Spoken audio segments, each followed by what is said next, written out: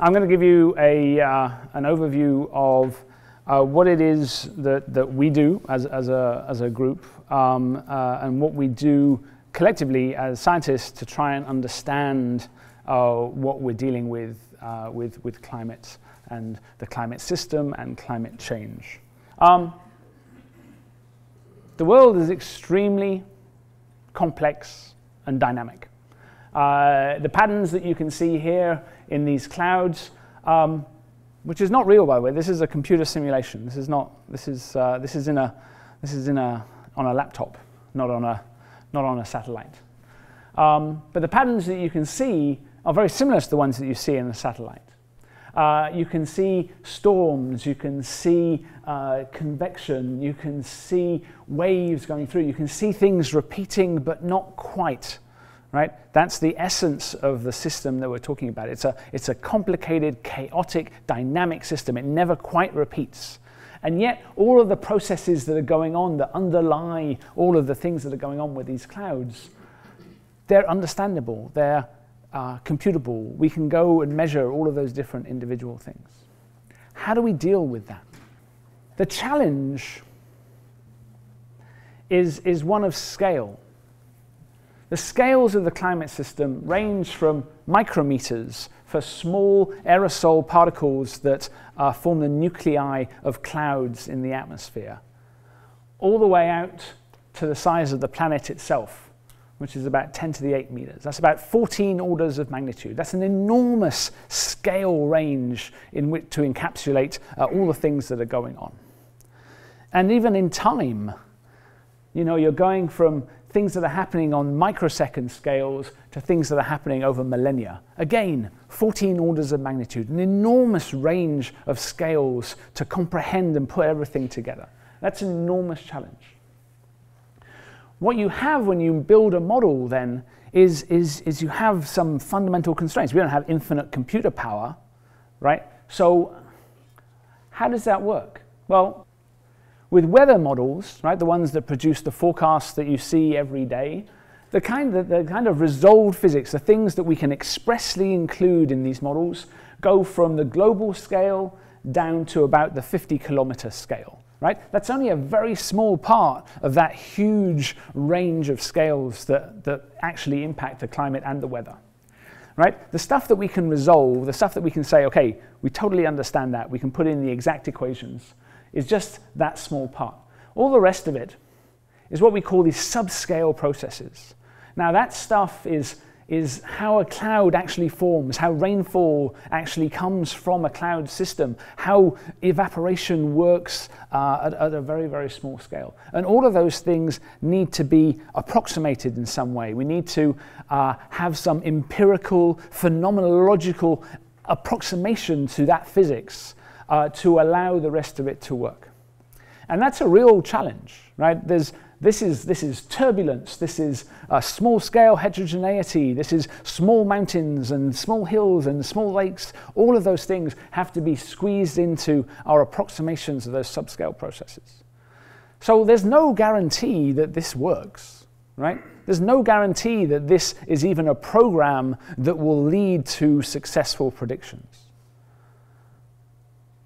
And so the test of this program is whether it does actually produce successful predictions. Now, you might not like the weather forecasts that you get. You might think that they're terrible, but actually, they're much, much better than they used to be. Weather models are skillful at producing forecasts three, four, five, six days, almost 10 days out uh, in ways that were unforeseeable uh, even 20 years ago. Now, climate models are a slightly different beast. Climate models have to use longer timescales because climate is on a longer timescale. And so the compromise they make is they don't go to quite such fine detail. And so back in the 1990s, climate models really only occupied that very small part of that, of that space. Now we can go a little bit further. So in the 20,010s, so the models that we're working with now, you know, we're coming out to about the same uh, spatial uh, resolution as the weather models, and we're taking up more times. You know, we're going out for a thousand years uh, and working on the physics at the same kind of time scale. And yet, we still have this large, large range of subgrid scale processes that we still have to include. This is a climate model. Uh, this is an old climate model, you'll be pleased to know. We don't use punch cards anymore. Um, it's a single line of Fortran. We still do use Fortran for any of the old timers here who think that, that their skills are no longer uh, valid. They are still valid, yes. You can have a job with us. Um, each of these colored bands was a single subroutine, a single calculation of some physical aspect of the code. Um, and you would put them into a machine one at a time. And if you got them in the wrong order, you'd have to start all over again. Uh, it would take months to produce uh, uh, any output. Um, and it was a very, very clunky uh, thing. And so obviously, if you have to write out every line using punch cards, you don't include a lot of comments. So, you know, we inherited this code and we're going, what does this code do? We have no idea. Anyway, so it doesn't quite look like that anymore. Um, but the, uh, the essence, the, the, the idea of what we're doing is directly related to what we did back in the 1980s, in the, uh, in the well, this is before that, 1970s. Okay, so how do we actually go around building a model? We do it one piece at a time. And I used a, a jigsaw analogy right at the beginning, and I'll kind of work with that a little bit now. Uh, it's very much like putting together pieces of a jigsaw. So, this is a piece of the jigsaw. It's a picture of Arctic sea ice taken from a, a flight going across the North Pole. Uh, each of those ice floes that you can vaguely see there are a few tens of kilometers across, and you can see leads in the middle. Uh, it was uh, the summertime, so the ice was breaking up. Um, and so there's a lot of physics that's going on there, right? So there's the physics of the sun coming in, reflecting off the ice because it's white. There's the physics of the, uh, of the, the heat being absorbed in the ice, uh, melting it from the top, and there's melting from the bottom going on at the same time. There's dynamics, how each of the ice floes interacts with each other. All of those things can be encapsulated, measured, and, uh, and put into some kind of uh, formula. So here are some of the formulas. yeah, so physics. You know, I don't expect you to, uh, to, to, look at these or critique these. Um, but this is basically what we do. We write down what the boundary conditions are. We use calculus. We use um, basic uh, conservation of energy. That's, uh, that's a big deal. And for each of those different things, we then take uh, some code, and you get lots and lots of lines of code. There are some comments now. That, that's pleasing. Um, this is a, the last bit that does some melting. And we make that one piece into like a component. And so, you know, okay, well, when we do sea ice, that's the piece of code that we're going to use. And we can add in lots of different processes. So that was the sea ice process. Now there's, one, there's a process that's associated with clouds. There's a process that's associated with radiation and the solar radiation coming through the atmosphere and being absorbed at the different layers of the atmosphere. That's one more piece. There are other pieces. The winds and the waves, and other pieces. The flow of water through plants, the flow of water in rivers back down to the ocean. So the point is that each of those bits makes up part of the picture of the climate system. Now, I've left some pieces out because our picture of the climate system is not complete, right? We don't know everything about the system. And yet, when we put it all together, we end up with uh, a simulation that has all of the emergent properties that we can see in the real world, right? So these storm systems in the Southern Ocean, you can, anybody who's been to the Southern Ocean knows exactly what they look like. Or storms in the North Atlantic, Kevin can tell you about those. Uh, tropical cyclones in, uh, in the Pacific. Uh, the convective bands uh, in, in the, uh, well, there's a couple of tropical cyclones that are going to cycle around each other. It's kind of neat. Yay. Now, within the code, there was no code that says, hey, do an atmospheric river that hits Oregon. There's no code that says do tropical cyclones and make them dance around each other. Right? All of these things are emergent properties that just arise from the fact that the system that you're modeling is chaotic, is dynamic, and all of the different processes that we put together intersect and interact in ways that you can't predict a priori. Now, just having done that, I think, is a intellectual endeavor worthy of, uh, of, of, Plato and, and, and, Chomsky, right? Trying to understand exactly what's going on in such a complex system and being successful at doing so is an enormous challenge, and I think one that we can rightly be proud of. But we're not just doing it to understand the system. We're doing it because that system can be kicked in many, many different ways. And right now, humans are kicking this system in a very particular way. So let's look at some ways in which the system can be kicked. Right, so there are wobbles in the Earth's orbit. These wobbles kind of uh, make a difference on 10,000 to 100,000 year timescales uh, and are a big driver of the, of, the, uh, of the ice age cycle that we've been seeing uh, for the past 2.5 million years. Right, so uh, Iceland used to have a lot more ice. It's not quite as icy as it used to be, and and and it'll, well, it will get less icier as well. But um, uh, 10,000 years ago, 20,000 years ago, Iceland was almost completely glaciated, right? Is that right? Yeah. Um, and that's due to these wobbles. So that's that's a very powerful kick to the system, right? That's everything changed. You know, can we understand that? Okay, um, there are changes because of the sun. The sun has cycles, it has activity, and it's over its lifetime, over the lifetime of the Earth, um, has uh, expanded and become more active by about 30% over the last 4 billion years. That has an impact on the climate. The, the solar cycles on an 11 year cycle have an impact on the climate. We need to understand those things. Volcanoes, as you're also well aware, have an impact on the climate not just locally, but they can have a global impact on the climate uh, by the uh, injection of uh, sulfates into the stratosphere, changing the albedo of the planet, changing the amount of energy coming into the system. Right, so you're getting the idea. There are lots of different ways in which we can change the climate, right? Or that the system itself can be changed. Whether it's biomass burning, ozone depletion, land use change, contrails, or of course greenhouse gases. All of these change the balances and the flows of energy in the system, and when you change the balances and flows of energy in the system, you change the climate. So, what we need to understand is whether the simulations that I discussed before, whether the weather models or the climate models, whether they have skill. And I want to be very clear about this. These models are not complete, right? There were holes in the jigsaw.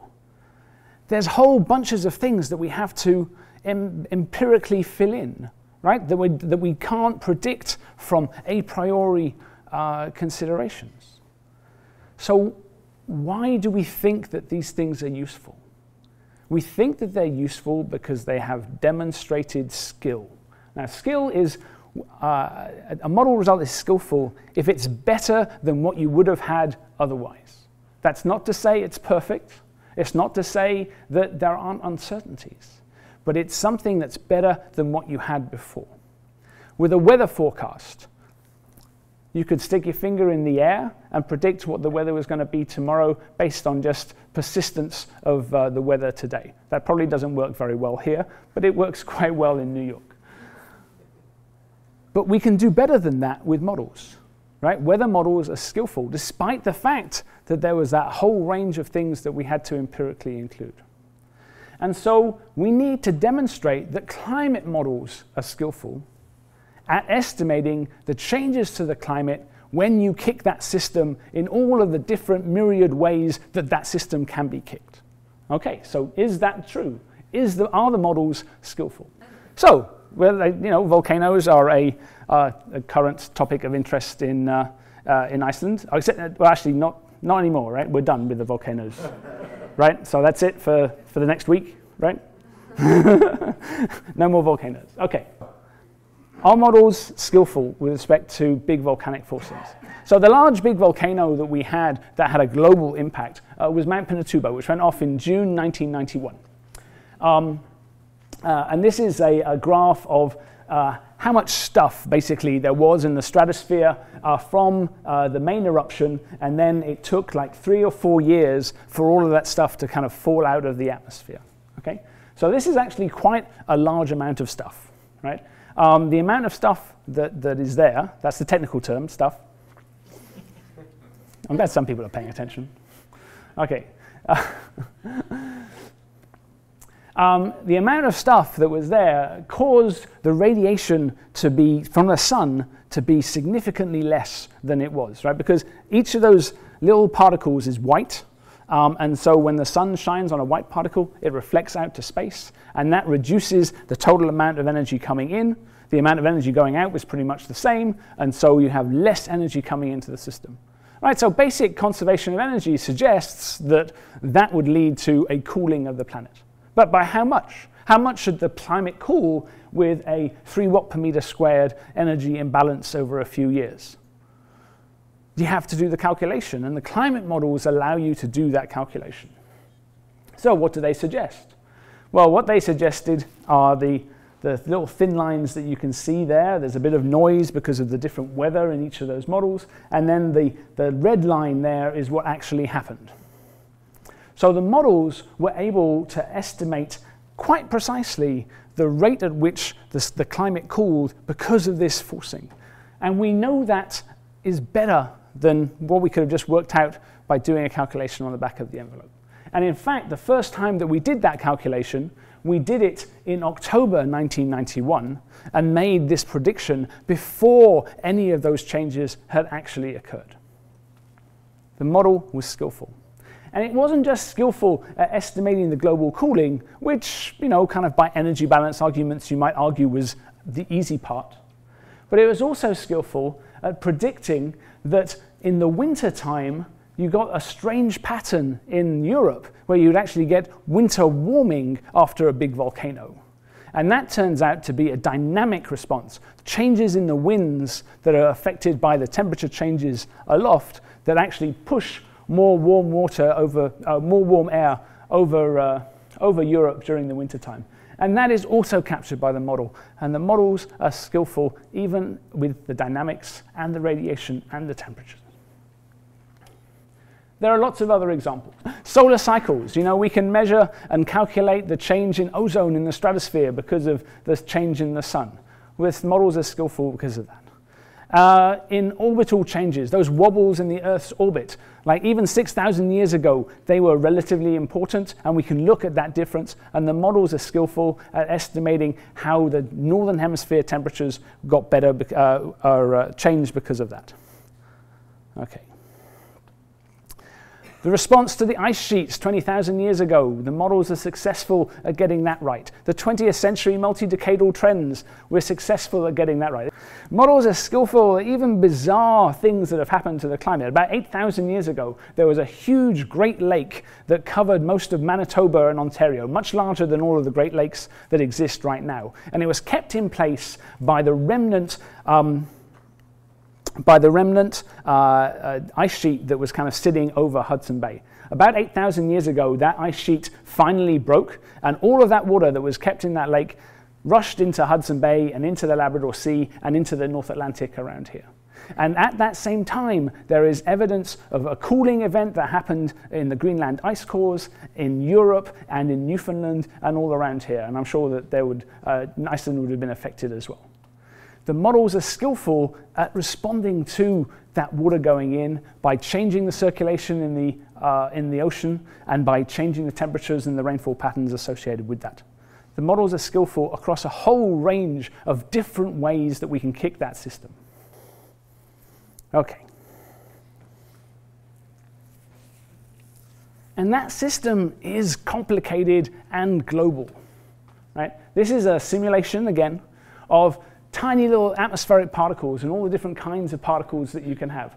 These orange uh, swirls, are dust coming from the Saharan desert. And you can see them affecting the climate and affecting uh, deposition of, uh, of stuff all the way across the Atlantic. The white wispy parts over, over Europe, you can see that's atmospheric pollution and sulfates, right? And you can see that what happens in Europe does not stay in Europe. The green and the reds indicate where there is uh, where there are fires and where there is biomass burning and where there is organic carbon and black carbon being put into the atmosphere. And again, these things don't just stay where they, were where they started. You can see the pollution over China, uh, that again, does not just stay in China. The blue dots associated with the big tropical storms are associated with sea salt particles. So as the winds whip up the waves, small particles of sea salt, which are a key element in uh, the production of low-level clouds, you can see them again in the, uh, in the Southern Ocean. All of these things are connected and important. And we can answer now with the, with the uh, with the computer models that we have, we can answer questions that, associate, that are associated with all of those things. How does pollution change climate and air quality all at the same time? I love this, this, uh, this animation. They, they did a really nice job here. This is my colleagues at NASA uh, Goddard Space Flight Center. And no, there's another volcano in Madagascar that just went off. So you can include all sorts of things in these models and answer all sorts of actually quite subtle and interesting and nuanced questions. Okay. How do things work over the 20th century when we've seen an amount of global warming? Right? So this is, this is a model simulation. This is the observations. You can see the patterns of weather you know, and they're not correlated. The weather isn't predictable 50 years in advance. But the emerging patterns of change that you see towards the end of the 20th century and that we end up where we are today, those patterns are predictable. They are predicted by the models. The models are skillful at getting these patterns right. This warming in the Arctic compared to the Antarctic, the warming over land compared to the ocean, the warming in the north versus the warming in the south. These are skillful models. But then let's think about the real reason why we need models. Right? And, and this, this comes from a, uh, a rebuttal that, uh, that two scientists wrote when somebody, you know, they, they talked about modeling of, uh, of, uh, of uh, future tropical cyclones, and somebody wrote a response to them, and they said, well, why aren't you looking at observations? And they responded, I think, quite funnily, well, if we had observations of the future, we obviously would trust them more than models. But unfortunately, observations of the future are not available at this time. And that's funny, but it's actually the real reason why we build models. We want to have predictive capability of situations where we don't yet have any observations so that we can make plans accordingly. Whether it's a weather forecast, whether it's a climate forecast, whether it's an economic projection, which we could get into as, uh, as well. But uh, um, what we want are, is an ability to make informed decisions about the future. Right? So predictability and predicting the future is the absolute fundamental uh, reason why we're looking at models. Right? That's what science is all about, making predictions, testing your theories, adapting them, making them better, making them more predictive. So what does the future hold? What we have in the future, of course, are choices. Right? We don't have to fall down one particular line. The economy, the economy, technology, how we structure societies, these things are not written in stone. We have choices. Society has choices. You, individuals, have choices. And these aren't you know, completely accurate labels. Um, we don't know really what will happen if we just continue as we go along. This is an estimate of that. Um, we have a pretty good idea of what it would take to bring everything kind of back down to the level that it was, uh, you know, at the beginning of this century. Um, this aggressive mitigation, like um, Kevin will tell you, this is not going to happen. This is the under two degree world that people uh, talk about sometimes. Business as usual. That's a five, six degree world. That's a totally different planet. Remember how different the Ice Age was to today? Well, that is just as different, but in the opposite direction. The Ice Age was a different planet, different organization of ecosystems, where people lived, where things lived, where things grew. The same will be true for uh, the business as usual planet. Where we're more likely to end up, in my opinion, is some uh, effort at serious mitigation. Not today, not tomorrow, maybe in the next 10 years, 20 years, 30 years. Um, and that will still be a planet that has significantly uh, warmer temperatures, particularly on land, particularly in the north, particularly in the Arctic. This will be a radically different planet as well. But exactly how different is still to be determined. But the choices are really ours to make. Now, I, am a scientist and, and I spend my time working on those small scale processes and the encapsulation of all of that physics that you saw in those animations. And these projections, these predictions, put us in a very odd position.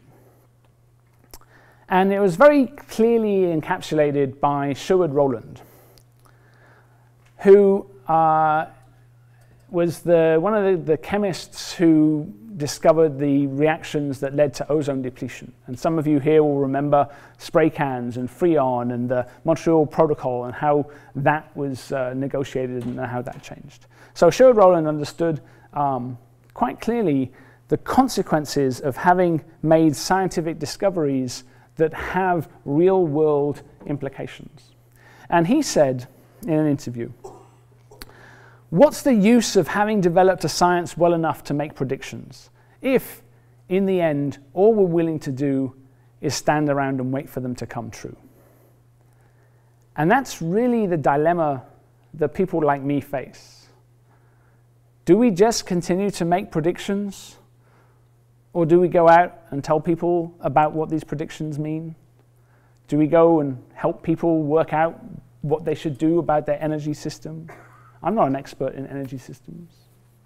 You know, should we use nuclear power? Should we use geothermal power? Should we do this? Should we do that? Those are decisions that are not up to me, though I would like to think that the information that we produce informs the decisions that you make individually and that you make as a city or as a country and as the world. And I don't know what our future will hold. Um, but I'm, I'm hopeful that whatever future we choose, it's an informed future. So thank you very much.